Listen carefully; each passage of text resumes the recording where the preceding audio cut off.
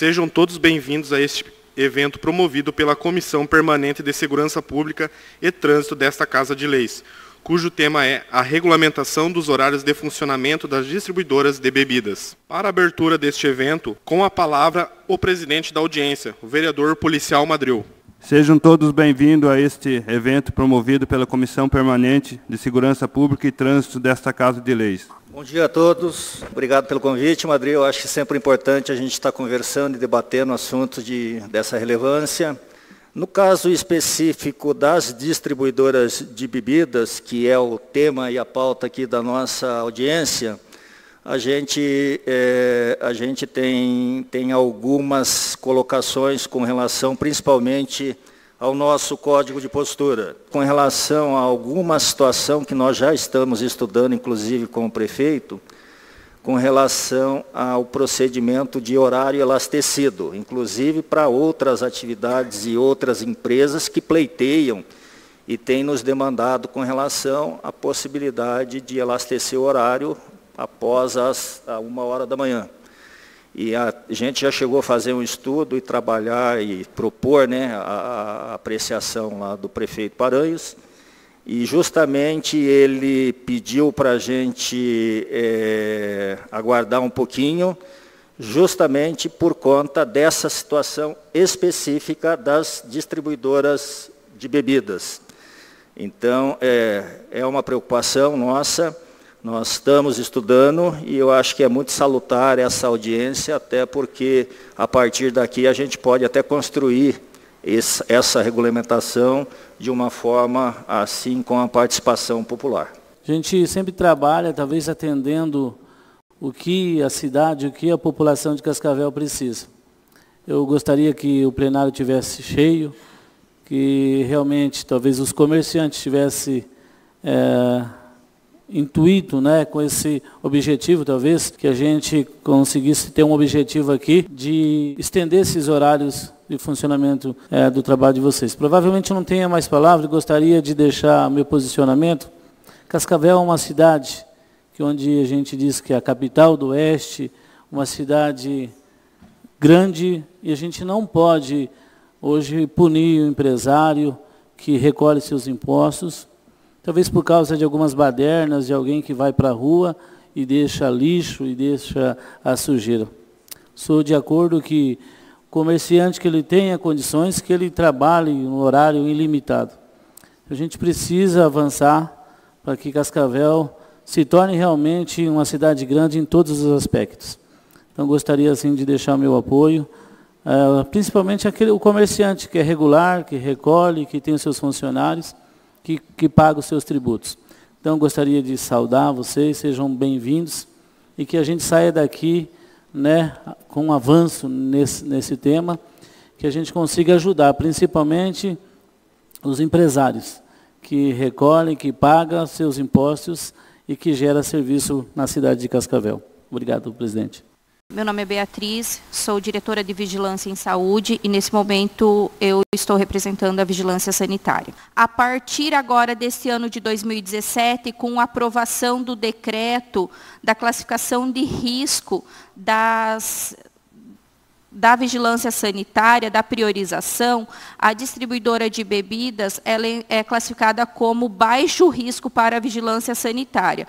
Ou seja, ela é não precisa ser, ser inspecionado antes da abertura, e sim no decorrer do ano dessa abertura do alvará é realizado a inspeção. Então, eu acho que é, essa iniciativa é uma iniciativa bastante inteligente para que a gente chegue num consenso chegue num, num denominador comum, assim podendo se dizer, e que a gente possa estabelecer regras para isso. Porque nós, da Secretaria de Meio Ambiente, nós só vamos nos manifestar naquilo que a lei prevê. Essa conversa com relação ao poder público e empresariado, ela tem que acontecer para quê? Para que as coisas funcionem dentro da lei e de uma forma perfeita. A nossa Constituição garante a livre iniciativa e o livre comércio. E tudo que não é proibido pelas leis nacionais é, é permitida ao legislador local, quando legisla no interesse local, é, fazer as restrições, inclusive sobre essas perspectivas das posturas, das normas tributárias locais e tudo mais. Então, esse é sempre um ambiente de tensão, a conjugação do interesse local com o livre comércio. E aqui eu deixo para se refletir também o que foi denominado o caso Avan, já aconteceu aqui em Cascavel no passado, a respeito da abertura do estabelecimento comercial em dias não úteis, foi judicializado, e essa mesmo, esse mesmo empreendimento enfrenta esse tipo de, de situação é, em outros estados da federação. Então, sobre isso, há pronunciamentos do judiciário.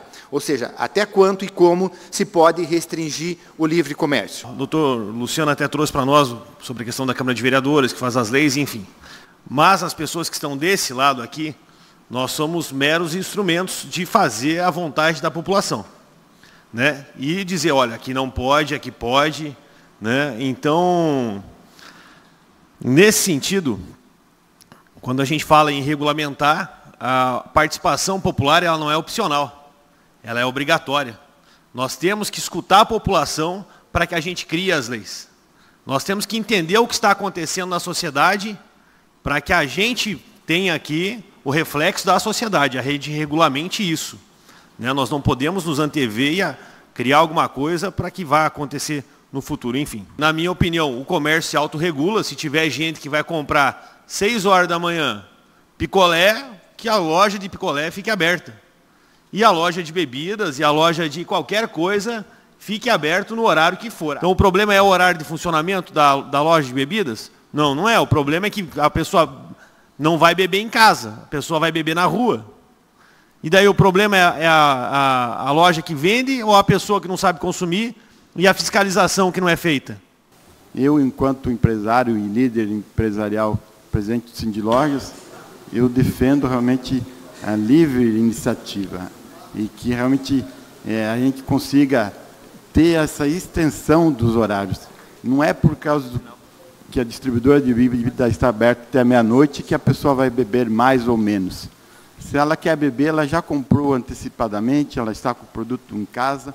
O que nós temos que ter é o cuidado nas ruas. Eu acho que essa situação de badernas, de bagunça, a, a ampliação da fiscalização nesses espaços públicos, né, nas praças e nas avenidas, eu acho que isso é, cabe né, uma, uma ampla discussão e cabe aí uma reflexão que eu acho que tem que ser feita um, uma abordagem mais efetiva. Mas com, quanto a, aos horários, eu acho que a gente tem que trabalhar realmente com é, cada um, cada empresário dentro da sua necessidade, dentro da sua é, conveniência, respeitando as questões trabalhísticas. Né? Acho que o país está num momento difícil, é, de uma grande quantidade de desempregados.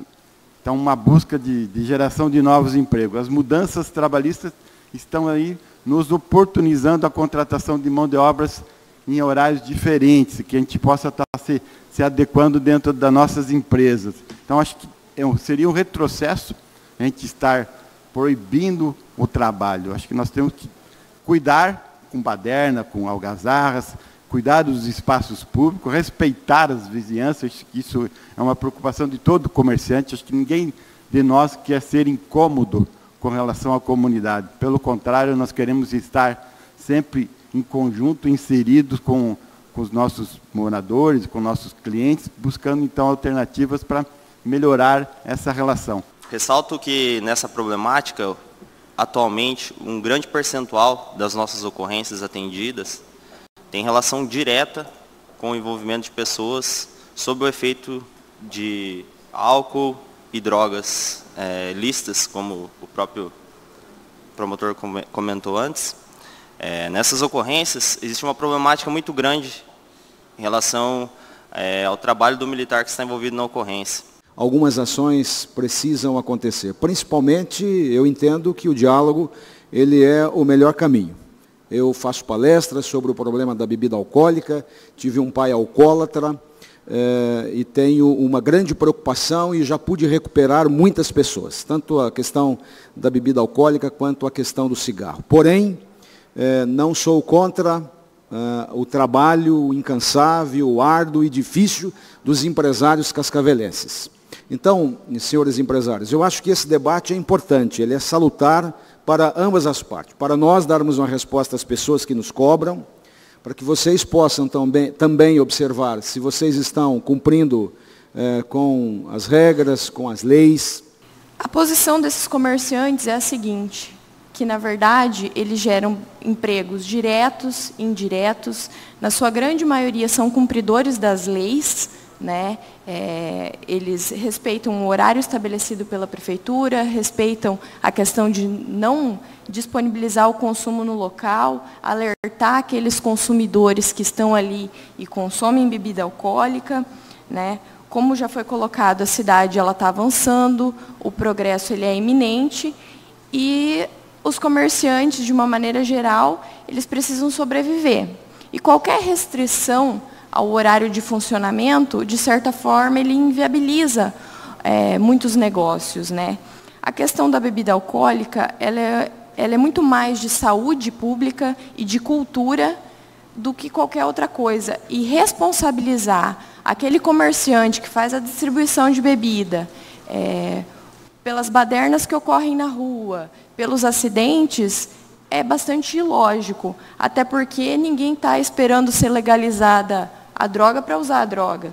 Então, quem tem essa cultura de consumo de bebida alcoólica, ele vai conseguir essa bebida em outro local, vai conseguir ela num posto de combustível que está aberto, num, num mercado, vai, vai entrar numa balada, vai consumir a bebida, vai sair na rua, vai causar acidente. Então, isso não pode, é, essas questões de ordem pública e de saúde pública, não podem afetar a vida do comerciante em si porque ele está praticando a lei, está é, vivendo ali a situação de ficar preocupado é, em ser responsabilizado por alguma baderna, por ser responsabilizado pelo lixo que se acumula no local. A maioria, é, acredito que em conversa com eles me falaram que procuram sempre fazer a limpeza ao redor do estabelecimento. Né? Esse alerta essa necessidade de segurança pública, ela tem que ser uma conscientização geral, porque banir é, essa atividade de comercialização ou restringir ela simplesmente é uma medida paliativa que não resolve nenhum problema. É, a gente, na verdade, só quer o direito de, de, de trabalhar. Né?